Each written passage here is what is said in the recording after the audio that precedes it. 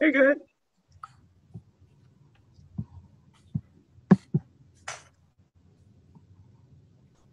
So the floor is mine.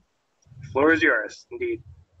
Well, thank you again, John Rogers and the California Rare Fruit Growers San Diego chapter for having me. My name is Charles Malki. I'm a biologist and plant expert with IV Organics, where we grow cool plants. And I just want to share a little bit of background about myself so you know a little bit about us and our brand and what we bring to the gardening community throughout the United States and actually in 13 marketplaces around the world. Uh, want to first start off with also um, letting you know that I'm also a member of the California Rare Fruit Growers chapter here in Los Angeles. I'm also part-time participant in Orange County. And I want to invite all of you guys to also meet me at the um, Walter Andersen Nursery that I'm going to be teaching the gardening club class on Saturday, July 25th at nine o'clock in the morning. And that's the one on Enterprise Street in San Diego. There's two chapters, and I'll put in the address um, later on in the comments. Out of curiosity, before I go a little deeper, um, how many people are in the classroom that are not on this Zoom meeting? If I can get a number. Okay, hold on a second. Just approximate. Like eight, 17? 17 and then we've got about 12 here so about 30 people just to let you know as i go through this um, presentation and similar to what I'm going to be doing on Saturday morning at Walter Andersen, which again, I'll put the address towards the end. Um, I'm going to be giving away a, a, lot of products and, and gifts, but I want to share with you a special gift that I'm going to make available to you guys, the California Rare Fruit Growers chapter, which again, I'm a member of as well, are these sunshine blueberry starter plants, which I don't know if you guys can see this logo. It's from Four Winds Growers. And we have been working with them for many years now. And we reached out to them earlier this year and we said if there was a blueberry variety you could recommend to IV Organics that we can share with our community. And I've got about a handful of these left.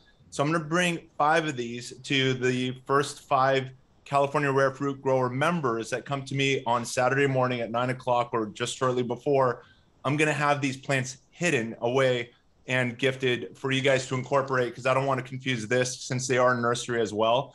But these plants will be for you. They'll be prepackaged in boxes, and you'll just put them right in your cart, and you'll see that it comes from Four Winds growers, and chances are they're supplying their plants from another source. Um, and this is just a quick gardening tip, and still part of my introduction is the sunshine blueberry plant is one of Four Winds growers' favorite plants because they are self-fertile varieties. They're also compact plants that grow about two to three feet. And the other one of my favorite reasons for um, incorporating blueberries in your garden, whether or not you have land or not, is these are ideally grown in container. So even if you have dirt, your blueberries will typically perform better in a container environment because you can control the fertilization, nutrition, watering, and everything else. And blueberries hate being wet and cold, which is typically your winter months. And the sunshine blueberries will be, you know, an awesome addition um, and productive addition to your garden. And a lot of these small plants already have tiny blueberries on them, which you should remove as soon as you incorporate into your garden and look forward to that fruit set by next year. So first five people that meet me, I'm going to have these plants hidden and looking forward to hopefully meeting you guys in person when I'm in San Diego this weekend, Saturday morning, nine o'clock.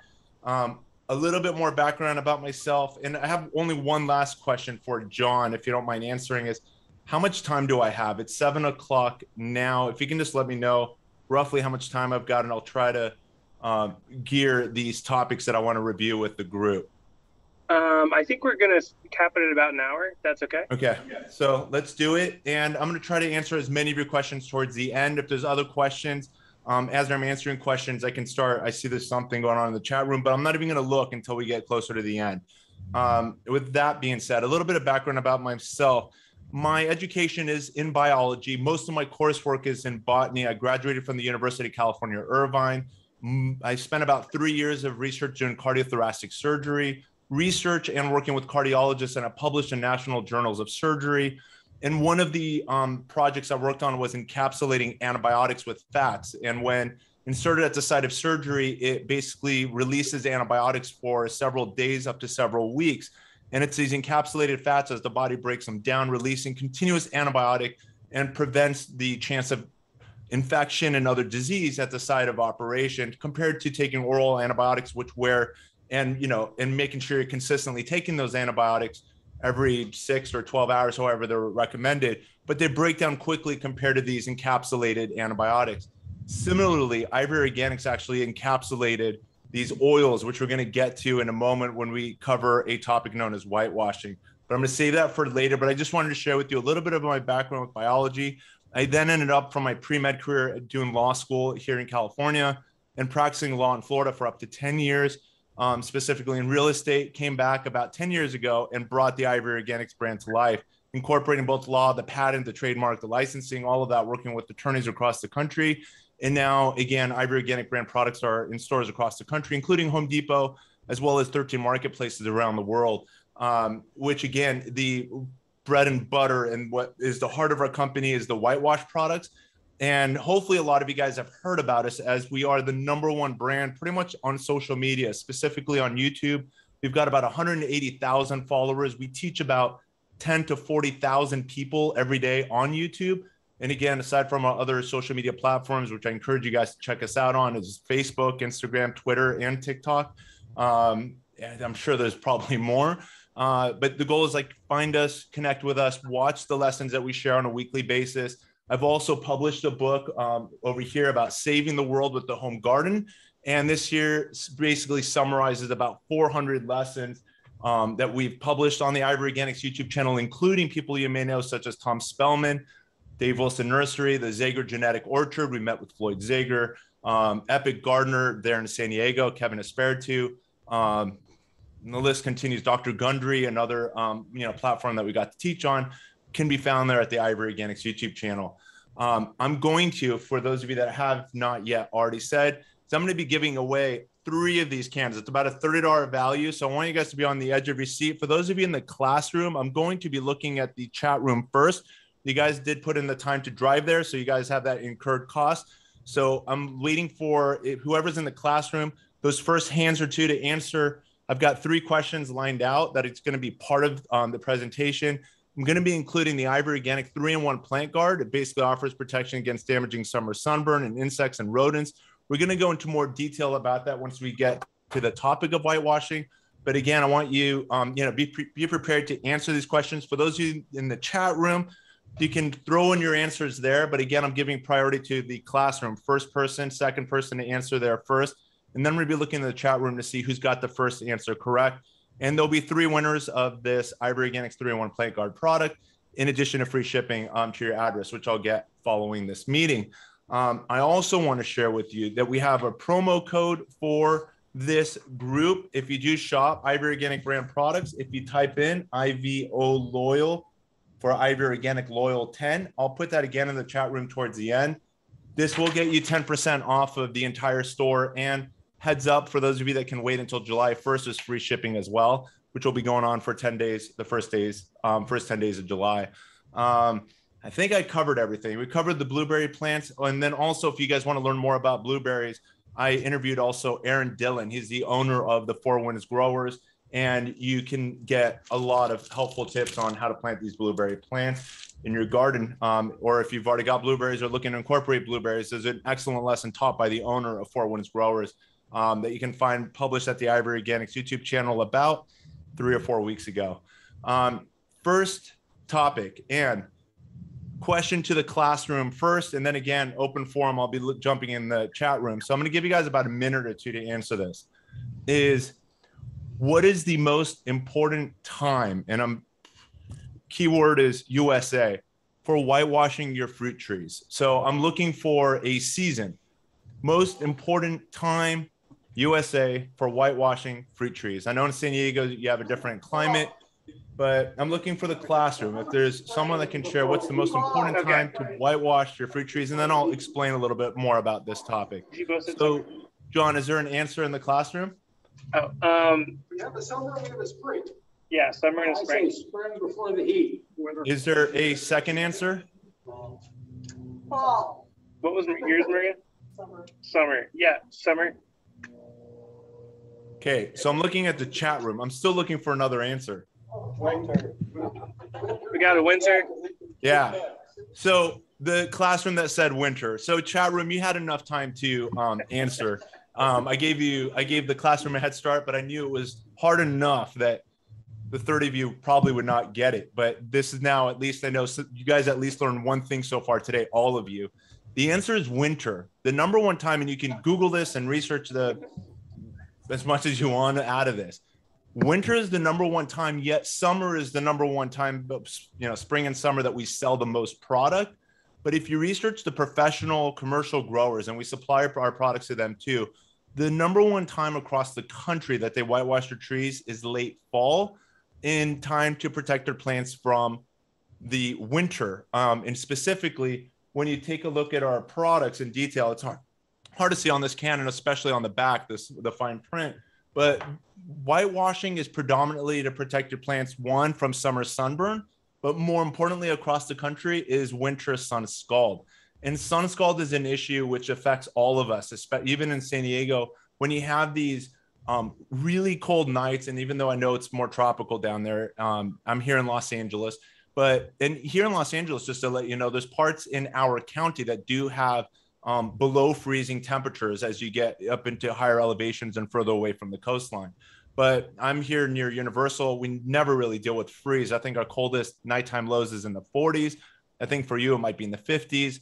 But the um, the um, basically the winter sun scald issues is predominantly nighttime lows that are in the freezing temperatures followed by daytime temperatures that are warm and warm could be 65 it could be 75 you have those warm days the fluids in the trees are beginning to move up and down. Um, you know, moisture loss is happening above the ground level, but below the ground, it's still cold and freezing, and and the roots are not active at all. And what ends up happening by springtime, after repeated sun scald issues throughout winter, is the trees basically dry out, they desiccate, they lose, a lot of their energy. They might push out blooms, they might push out shoots, but within a few weeks or even a couple months thereafter, they just dry out and die. Um, again, a phenomenon known as winter sun scald damage to the tree. And whitewashing the plant would protect that structure throughout the winter, basically offering the plant some insulation and also by reflecting that excess light off the you know off the plant during those winter warm days the plant will remain cooler retain moisture better and then you know perform significantly better come spring so IV Organic basically created an entire brand. We've got now close to a dozen different products, and we're continuously introducing more and more innovative. Um, our brand is pretty much encompassing the concept of being innovative, organic, effective, and USA made based. We're here in Los Angeles again, and our whitewash formula was pretty much piggybacked off of the traditional ancient you can go back into egyptian times of where you may have seen trees painted white like you may be driving on the five freeway heading up in northern california and you'll see tree trunks painted white i know a lot of people that travel into mexico see a lot of trees and even palm trees painted white. And it's like what's the reason that they're painted white?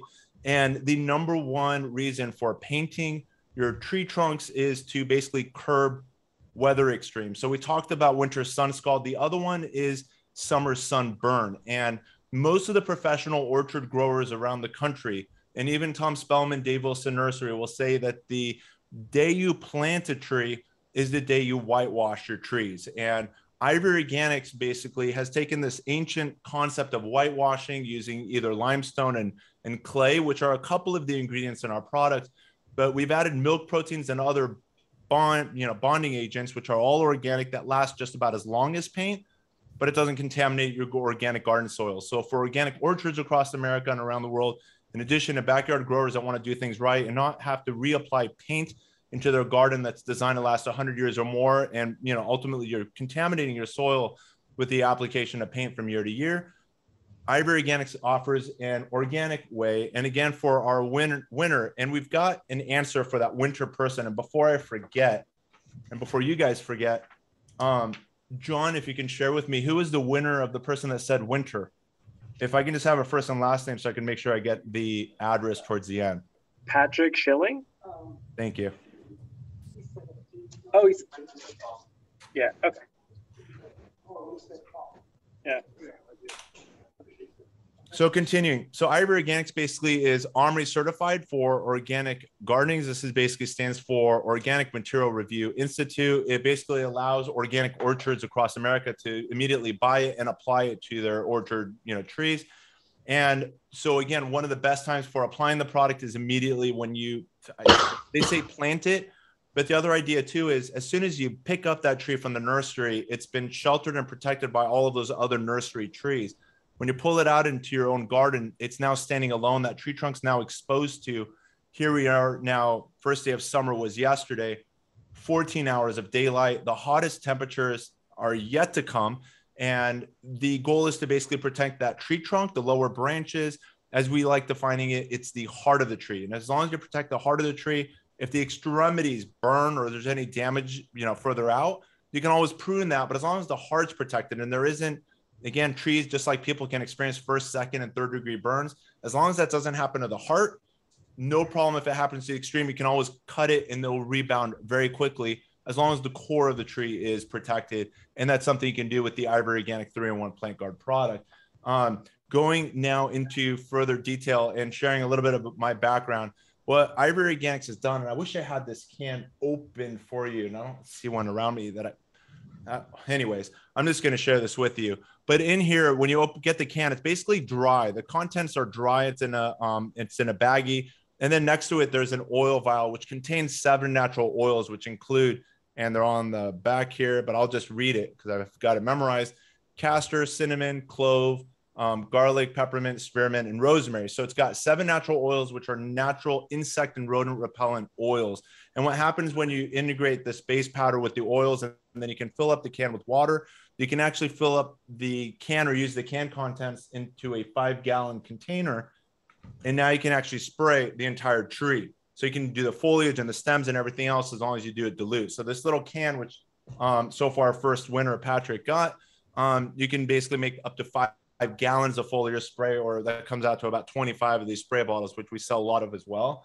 Um, and the spray bottles, again, are a total plant protection, which includes um, among the base ingredients and the um, cinnamon and castor and clove, it also includes diatomaceous earth in both of these products too, which a lot of you guys are familiar with the anti-insect um, repellent properties of diatomaceous earth. So that too is in these products, which offers just that much more defense when you basically apply it to your trees.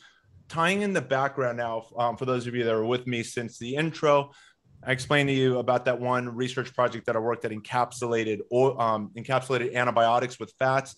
Similarly, this product basically uses those base ingredients to encapsulate the oils. When you brush it onto your tree trunk, you know you can do you know one or two coats. You're basically offering um, you know several months up to a year of protection with these oils that are slow release compared to if it was just the oils without the encapsulated effect, they basically last a lot longer, offering your plants significantly more protection than if it wasn't for. And so that's kind of the science behind the product, which comes from my early research from about 20 years ago, shockingly. Um, so, you know, I just want to share with you that the pre med and the law all came together with the IV Organics brand products. Just a little secret that I usually don't share with too many people, but I just want you to know that. IV Organic also has an oil free option. If you're not dealing with pests, then you're just dealing with the um, gardening concept known as whitewash. And just to let you know, and I expect that most of you um, aren't that familiar with whitewashing or painting your trees. Um, as I teach these lessons in garden centers with people that have over 10 and 20 years of experience, and they're like, I've never seen a painted tree before. And, and again, I know a lot of people of you, you know, in the class, have not had you know that much experience in seeing painted trees or maybe you go to the nursery and you might see a little bit of paint here and there on the plants particularly with avocados. Um, but it's not a very well understood well practiced you know but it is as you continuously add to your arsenal of tools to become a master gardener whitewashing is as important as fertilizing and mulching and watering and doing everything else right on your trees as it's you know it's offering that protection again from summer sunburn in the summer and the winter even though again it's not a san diego issue. Winter sun scald but you're also protecting um, your pruned you know branches.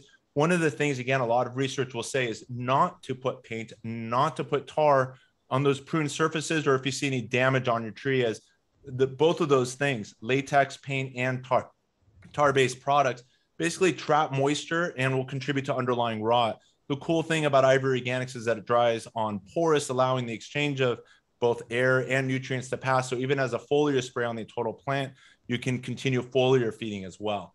Um, so there's those are just some um, helpful tips in regards to whitewashing, and hopefully it um, answers that. Let me just take a quick look at the chat. Um, can we apply it with a brush? So when you take a look at the backside of the can on whether it's the yellow, which is with oil, which is what I'm giving away today, or the blue one, which is without oil, which if you want without oil, just don't use the oil in here. Um, but on the backside and the fine print, there's three ways of using the product. And one of them is as a foliar spray, it gives you directions on how to even make an individual bottle.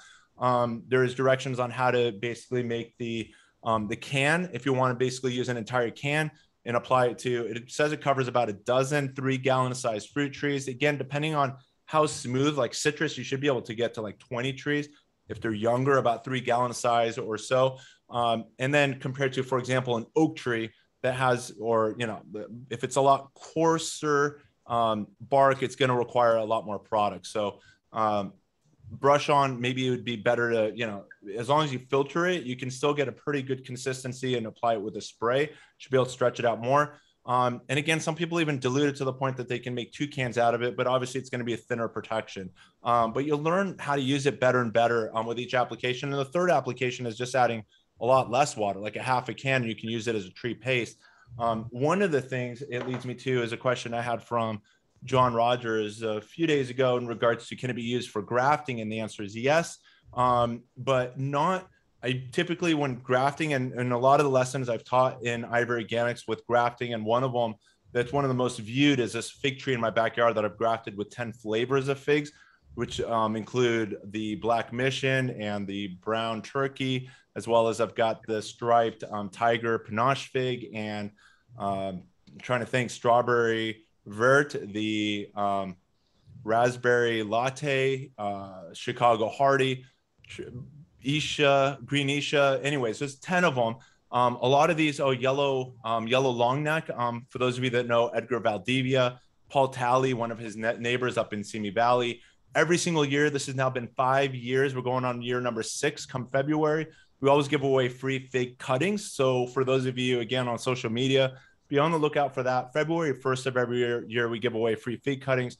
Um, but going back to the fig tree, once you successfully graft the two, and you know, and then you take the graft apart about six to eight weeks later, then you would apply the IV Organics to basically now keep it disease and pest free. Um, and you would take off, you know, any of the protection, or by that time, if you're just using parafilm, it starts breaking apart. You can add the IV Organics around you know that wound and as it breaks apart and continuously protect it that way um, again the goal is to keep light excess heat and obviously keeping disease and pests from entering those you know you know th- those wounded um, areas trying to see here so paint consistency is it effective against ants so in regards to the answer is yes um, but can one of the other questions is relating to ants is can ants walk on the product and the answer is yes too um, imagine the diatomaceous earth as well as the oils. The oils offer repellent protection, and the diatomaceous earth is pretty much like crushed glass for anything with an exoskeleton. So ants, um, as well as beetles and termites and so forth, um, aside from walking on it, they can carefully walk over it without much harm. But it's when they try to bore into a tree. If you've ever seen, um, you know, insects as well as ants boring and en- entering and penetrating um, maybe a wounded prune area or damaged bark, maybe even caused by sunburn. The IV Organics will basically coat and protect those surfaces so that there's no penetration and the tree can begin to heal um, those coated surfaces. So just keep that in mind when it comes to, and that answers the next question from Britta in regards to effective against borers, and the answer is yes.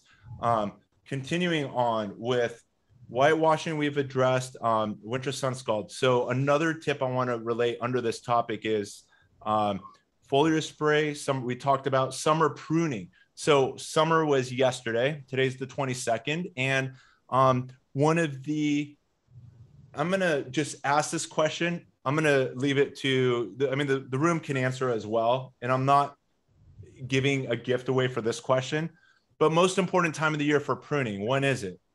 Any guesses? You guys can write in the chat room, or um, or the class can participate. And I can catch my breath for a second or two.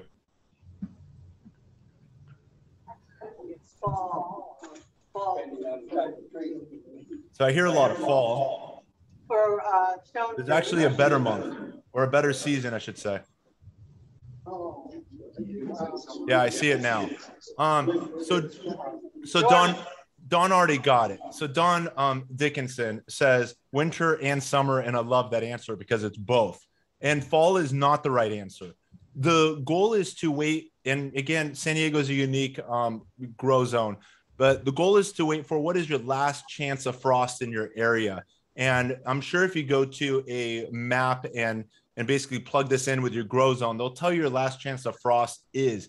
Here in LA, I told you the coldest in my particular grow zone that it ever gets in winter is like 45 degrees. Last chance of frost, I do have a date, is that last week of January. So the ideal time for me to begin pruning my plants, and this is the number one time of the year to be pruning those branches that are older than two years of age. So those thicker, bigger, major pruning that you should be doing your plant is going to be late winter is the general answer, but more specifically, late winter for us would be like we're talking about in March is too late.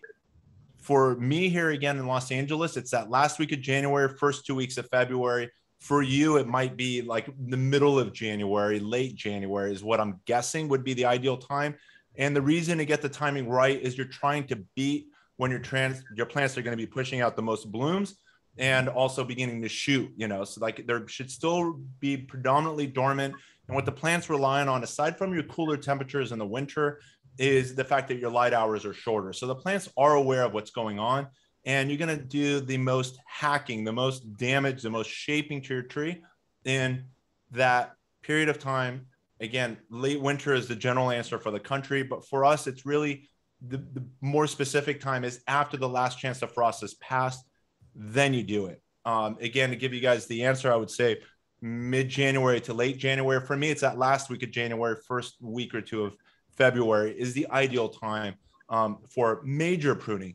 But summertime, right now, as you're harvesting your fruits off of your peaches, plums, apricots, cherries, your guavas, your mangoes, your avocados, whatever trees are you harvesting is an excellent time to also be pruning your plants. You don't want to prune your plants significantly while they're supporting the most amount of fruit, as again, those leaves are the solar panels and providing the sugars and proteins and all the you know energy to that plant as well as you know development root strength and so forth. The better time for pruning your plants is going to be um, after fruit harvest. And i know for some of you you know for example i've got a granny smith in my backyard and those fruit usually ripen by october november and that's late you know and it's not going to push out significant growth towards the end of the year but for those plants that you can prune and shape again, using only that growth that happened this year to last year. So you're looking at first and second year growth. So this is more shaping and controlling and managing the height. It's important for those of you that practice another gardening concept known as the backyard orchard culture, where you want to make sure that those fruit, for example, on your um, dormant fruit trees, again, that includes your peaches, plums, apricots, apples, and so forth, is that you want to make sure that the plants end up going into dormancy and that those branches are still within reach. As long as you can reach those highest branches by the end of the year, by next year come bloom, those blooms are also going to be within reach, which means the fruit are going to be within reach too. So this is an awesome time for visiting your garden and kind of seeing are some of those branches just so far out of the way and getting so vigorous. And again, the more that those branches grow away from you, if again, your goal is not to have gigantic trees. And I know for me in my backyard, you know, I'm in a standard size lot and I've got minimal garden space. But in my backyard, I've got 25 fruit trees because I've got my trees spaced about seven to eight feet apart. Um, some of them were multi-grafted, so I can, you know, you know, reap the benefits of having more flavors on one tree. But my trees are close together, which requires that you've got to keep your trees in check height-wise as well. If you let them grow too big, there's just they're just huh, they're basically just going to drown out and shade all the neighboring plants, and your fruit yields and your um, success from year to year is going to be diminished. So, um, an important consideration is keeping your um, you know your plants in check. And summertime is the second most important time of the year to just make sure that's happening. Um, I just did a lesson this week on um, summer pruning that'll be published hopefully within the next week. So you can be on the lookout for that and some more helpful tips relating to summer pruning. So um, keep that in mind when you visit your garden next.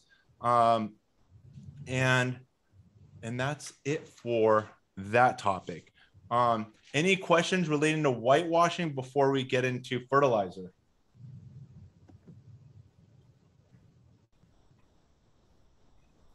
I think I see a hand. Um, is that Pat Holland? I, um, slightly related to what you said. What do you do for the Argentinian ants that nest in the soil? You destroy the roots uh, and farm aphids on your plants, and they're being grown in clay pots. So for the aphids, again, the can can make this product. This product is basically spraying onto your plant, diatomaceous earth, as well as cinnamon and, and, and garlic, and all of these things are naturally aphid repellent um, ingredients. You can spray the plant; it'll keep the aphids under control. The Argentinian ants in the soil, if they're at the soil level, an awesome practice to consider using is um, basically a neem oil drench. You can get your hands on like you know organic neem oil, um, and you can make a solution with water. It's usually like about a teaspoon or I mean a tablespoon to a gallon, maybe two, and you're basically dumping that solution into the soil, um, and that pretty much helps keep ants at bay. And if you can control obviously the ant population, it'll also help keep the aphid population in check as well.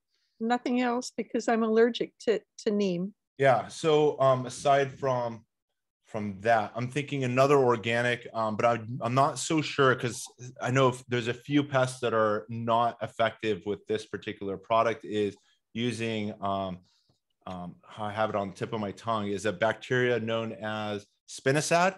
And there's a lot of spinosad based products. It's basically a bacteria that you can uh, solution you would um, apply to the soil. Um, and I know that helps control a lot of other pests. Um, but that aside, and another, a third one that comes up as well is just putting ant traps as well. And that's something that doesn't even need to touch the soil. Done It's that. it a didn't thought. work. Done that, didn't work. I'm losing Yeah. Acacia sinensis. Oh, that's it- they're damaging a, a potted uh, citrus that was very healthy. um uh, uh, here's another another thought too is is just getting your hands on just diatomaceous earth maybe just concentrate and just applying it to the soil and just having that much more you can imagine like crushed glass even though keep in mind diatomaceous earth is safe on people pets and even your earthworms it really affects only things with exoskeletons and if it gets into their joints it basically um, scratches them and dries them out so those are um, just that's a that's a third helpful tip for hopefully controlling the ants for you. It- And it works watering the soil. It'll still work. Yeah, yeah. Yes. A, a friend said that in Texas said that they use, uh, and I don't understand this, um, dried um, molasses. Have you ever heard of that? Um, it sounds as if the sugar would attract more ants, but Hey, I think. don't know. Maybe it's not organic molasses and Yeah, that's yeah. why it works. Thank you. You're very welcome. So we're now going to go off to our topic number two, even though we've talked about a lot more than two things. But our next lesson is going to be on fertilizer. And this I'm opening to the classroom as well as the Zoom meeting is, um, and I want to make sure I phrase this question. That's why I'm looking at this one here. What is the most important, and I'm qualifying it with heaviest application month of the year. So you're going to give me a month of the year to fertilize your trees. What is the most important, heaviest application month of the year to fertilize your trees? Classroom first. Just before fruit set, Not sure who who's the first. before fruit set. No, who's who's the first? February, Who's the first person? say March. So John, what what answers do you have? Uh, we got uh we got February, we got March, October, April. Oh, you're, you're getting them all. November. Haven't hit one yet, huh? Okay, so keep going. I'm waiting. I'm waiting for another month. May. Really depends on the type. Okay, so someone in the classroom said May. Yeah. When, Okay, who was that? oh, go ahead. Um. Uh, Poe? Yeah. Yeah. What's the name so I can write it down? Yeah. Did you say Poe? Yeah. yeah. Okay. I'll make sure I, I get the um, the address after the meeting. And the answer is May. And I also said a second month. And I love the fact again, and I hope you guys are enjoying this too. I'm throwing out these questions. Um, and it kind of helps me test all of you too. I don't know if you realize this, that uh, I'm making sure that we're all leaving learning more from this meeting. And, and I'm so glad to be a part of your growing success for this year for the majority in this group. Um, and the answer is May. And the answer is May and or June. And it really depends on if you're hopefully feeding your plants organically. For feeding your plants organically, the best month of the year for feeding your plants is May. And the reason is you're giving the soil biology a chance to break down those organic elements that are in those organic fertilizers, bringing those elements into the soil to then benefit the entire plant structure. So, and that's usually by June. The reason June is the number one month, and again, I actually have this chart prepared so you guys can see this as well. So, this here is kind of the um, seasons here on the bottom with winter, spring, summer, fall, and winter. I got summer is the season that you need to feed your plants the most. Whatever the application is on the back of the fertilizer, you're going to want to apply as much as it recommends for the plant, especially in summer. Come spring, even though some of you said, you know, spring is the most important time to feed your plants. Yes, you should start warming up, feeding your plants some coming out of winter, but it's, you know, it's about half as much as you would otherwise apply come summer. Fall, again, low dose amount of fertilizer. In winter, it's also important to consider foliar feeding your plants to make sure that they have all of the nutrients necessary for optimal blooms and ultimately fruit set come spring.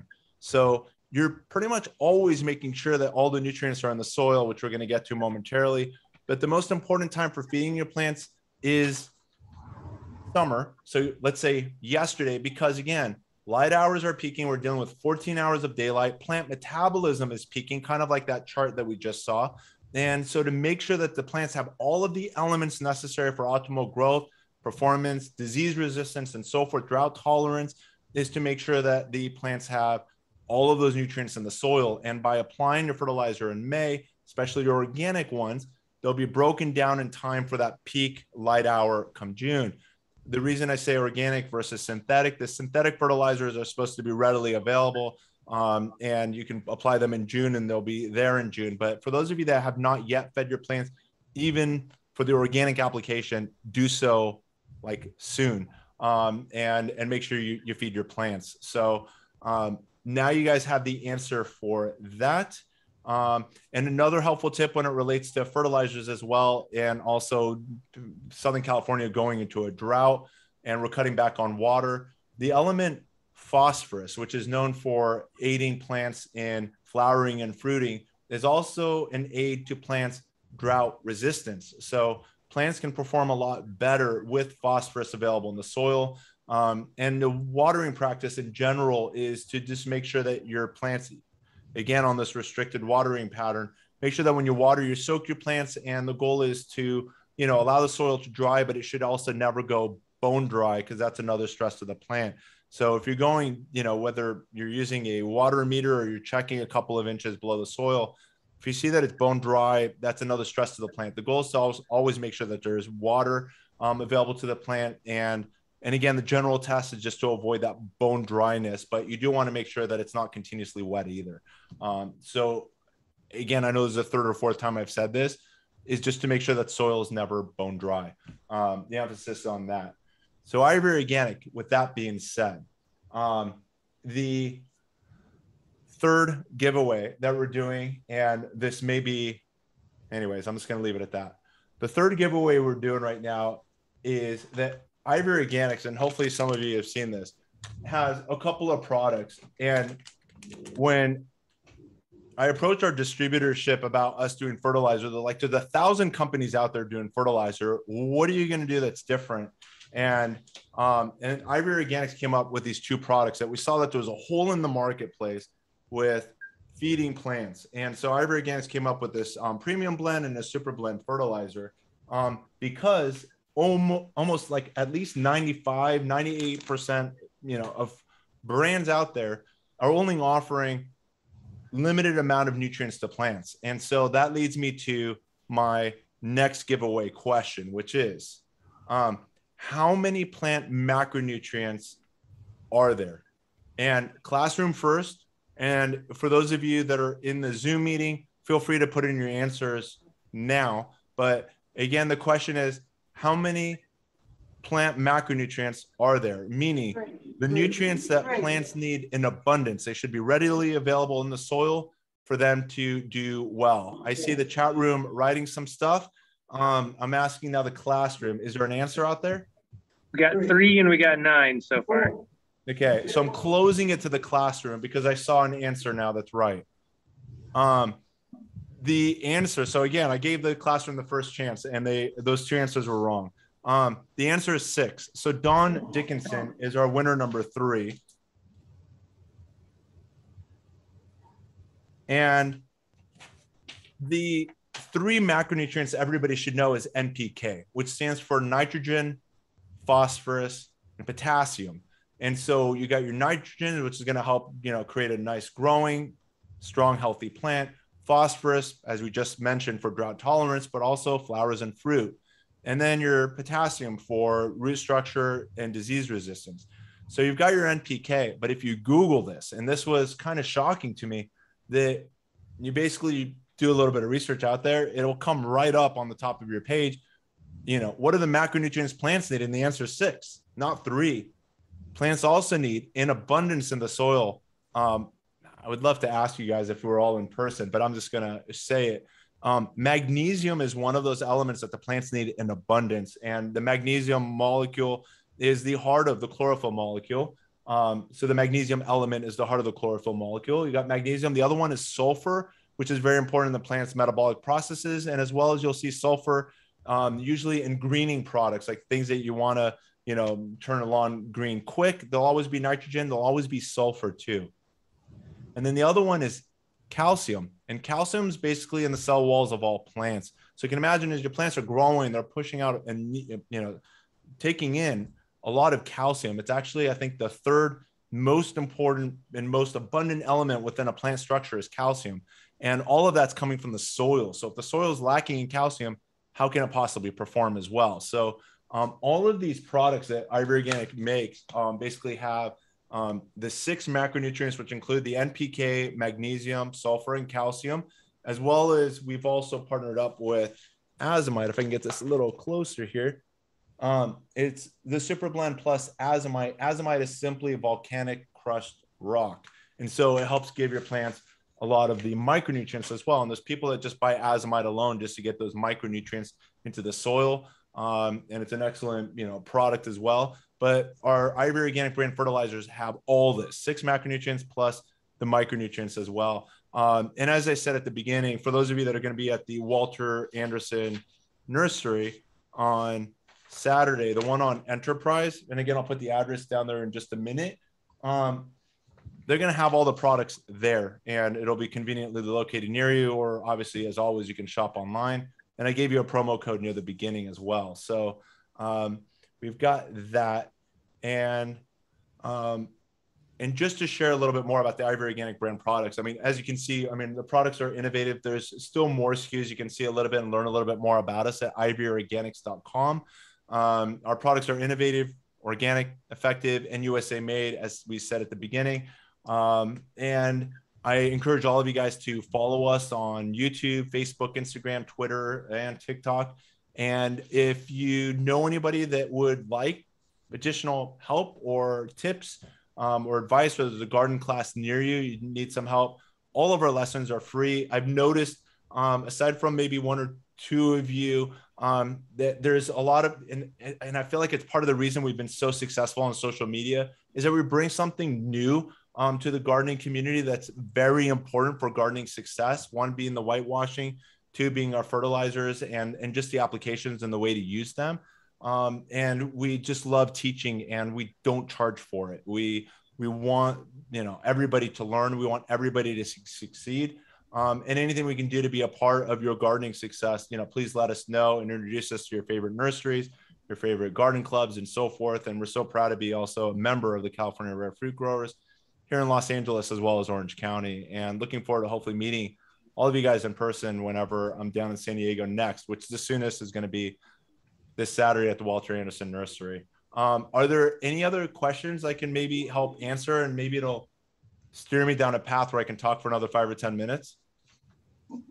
Can we just use diatomaceous earth or kitty litter basically to uh, spread around the root zones of plants to help subdue ants? Diatomaceous earth, kitty litter is diatomaceous earth. Yeah. So diatomaceous earth is used in a lot of ways. You can sprinkle it around the base of the tree. Um, other things, you know, or other ways people use it is just putting it around the whole perimeter of their property. Wherever there's an issue, um, you can simply draw borders with diatomaceous earth, and you should see some movement. And at the end of the day, these are all repellent protections. You're simply moving them from one direction to another, um, or, or, again, hopefully suppressing and keeping their populations at bay. Um, but again, these are all like repellent tactics. It's not poison. You're not killing them. Um, really, aside from just like smothering their population.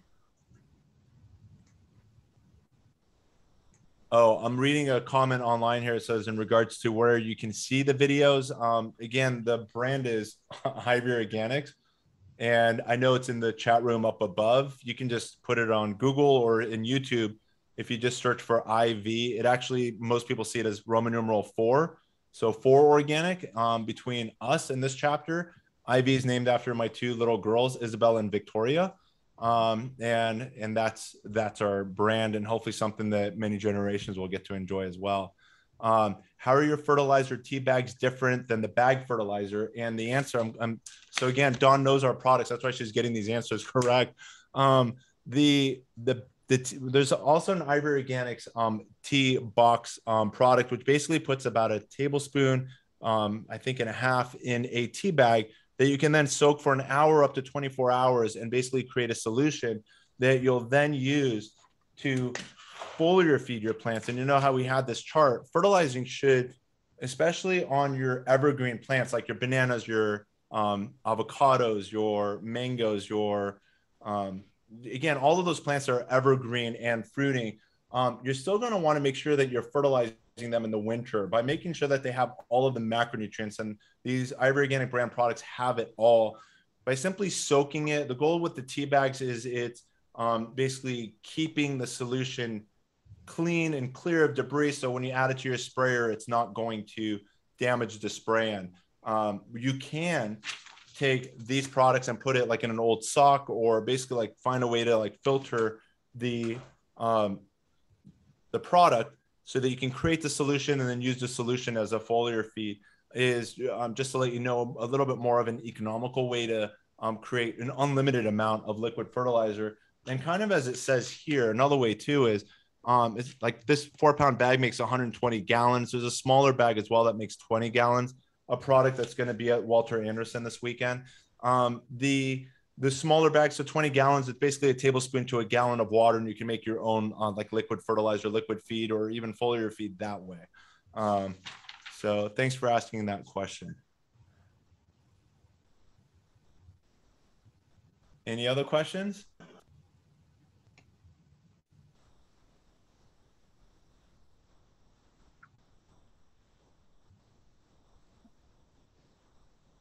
Good here. Um, any last minute? Oops, I forgot. I think we're all good, but I oh. appreciate you coming out at such short notice and giving us all this great information. Yeah, very welcome. What's his name? Yeah, yeah, thank you. Um, do you need any more information from us to get those uh, gifts away to um, Poe and Patrick? Yeah, so, yeah. so I was hoping that John Rogers would email me the names okay. and addresses, or at least email addresses, and I will be more than happy to get those out this week. Okay, that sounds awesome.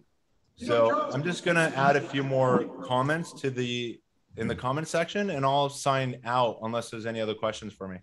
You know, the foliar, foliar spray for avocados trying to protect it from the heat, because we had that 115 degree heat and how can you see white or something on the leaves that's going to protect it, you know, from the heat?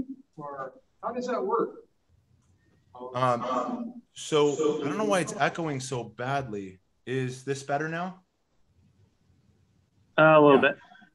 Okay, I think we got under control. Um, so in regards to using the the foliar spray, so the goal when whitewashing, as you can imagine, so the can basically works as a brush on. So obviously that's offering a thicker protection. When you're using it as a foliar spray, and keep in mind this is about this can makes about 20 to 25 like spray bottles. It's diluted that far, but I've seen both commercial growers and even backyard growers.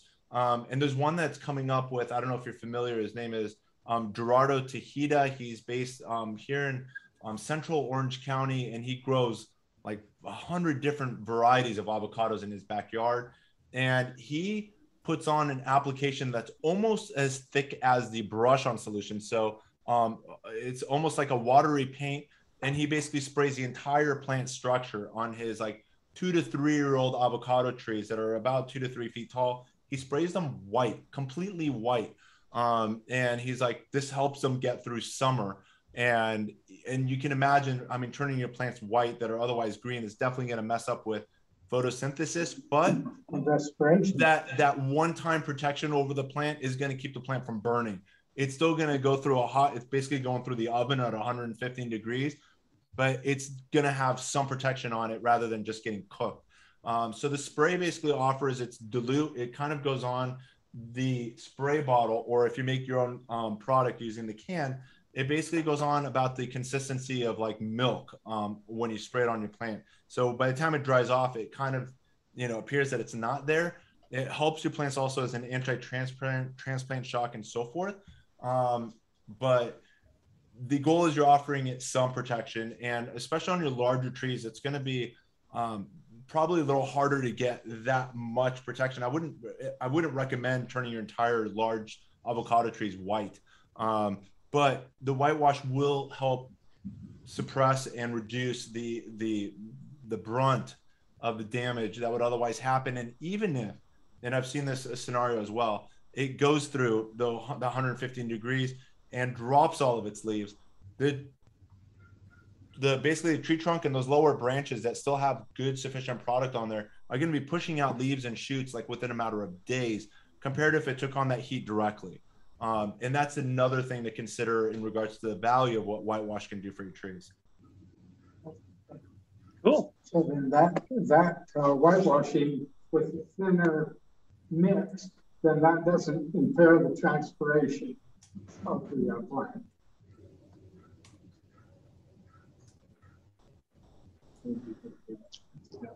I have a general question and I don't have the answer.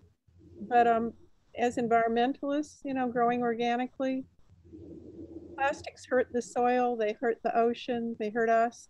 Is there a way for you to package your product without plastics? Everyone's doing it, unfortunately, with plastics. yeah um, we've worked with um, a lady named lee Gad she's um, a she's the wife of toby Gad singer songwriter that lives a few blocks away from us and invited us to an earth day event here in los angeles about four to five years ago. And if you go to IV Organics youtube channel and you put in um, IV Organics on youtube with lee Gad l-i and then g-a-d um, this lesson should come up where she kind of inspired us to do something where we have a zero waste program where we basically ship the products as just the contents and a um, and then just a label description on how to use the products but there's no can and and basically we're trying to reduce the um, just the need for all of this when all you need is the inside and you can sim- simply use a starbucks cup. That's another piece of plastic. Um, but maybe a coffee mug something in your garage that you can simply use your pint sized can and still mix and create the solution without using all of this extra you know steps and parts and, and, and labor and those are products that are zero waste program which you'll find at ivorganics.com are about 30% cheaper than the other products and we're continuously looking at ways to do you know refill programs and so forth um, So- and, and and always looking at ways to to be more effective and, and more impactful. And the other thing too is we, we recycle as much as we can. A lot of the boxes and packing materials and everything that we get go like nothing gets almost nothing really gets thrown away. Even the boxes, some of the boxes that you know basically contain cans of about 50 to 60 cans at a time. When they go to nurseries or drop off or they're going right back on shelves, they get they we usually pick it right back up.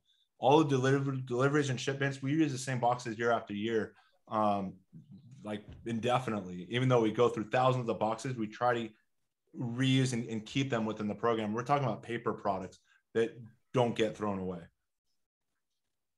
Thank you. I'm glad. In addition to plastics, in that obviously. direction. But Yeah, you'd yeah. have to get places like Walter Andersen and other nurseries to do that. for sure. Because if, if we bought from you, we'd have to pay shipping somehow, wouldn't we? So this is the Walter Andersen that's right there off the Pacific Highway Yeah, in San Diego.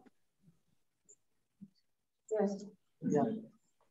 So another question that came in from Cheryl is, is fertilizing on the same as application of chicken or rabbit manure?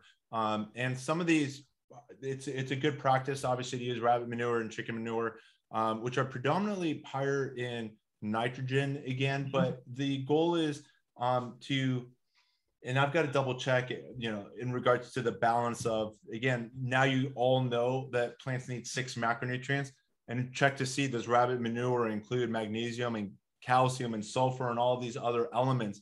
Otherwise, you're really just giving your plants one of the same. Um, and another good practice, in addition to if you're already doing chicken and rabbit manure, is hopefully you've also got a composting program going on your property as well. We're incorporating a lot of the you know, nutrition that you're eating. Some of that waste is also going to give a lot more elements um, to your plants another lesson I did many years ago is just the use of like fish fertilizers or even like fish products on your garden and how a fish has about 80 elements in them. And it's like, and one of the great questions I got from that is why would you need 80 elements in the garden? And I'd love to ask you guys the question, but I'm just going to answer it is um, the 80 elements are basically feeding your soil biology. When you're doing things organically, you're feeding the earthworms, the beneficial bacteria, the mycorrhiza, mycorrhiza, and that whole network of life that's below the soil. And when you're actually taking care of it, you're basically going to have a longer, healthier, better productive, um, happier tree than if you're doing things synthetically. If you're using those chemical fertilizers, you're actually harming the soil biology, and your plants become more reliant and, and on you offering those NPK and other macronutrients and micronutrients to your plants because you've just wrecked that whole soil biology below. One, by not feeding it, and two, by possibly adding too much salt, um, which is a side effect of using those synthetic fertilizers. So, um, doing things organically is just going to create a healthier environment for those plants. Cool. If there's no more questions, um, thank you, Charles, Of course. and, and have a great week. Thanks for having me, guys, and hoping to see you guys on Saturday morning. Take care. Thank you. You're welcome.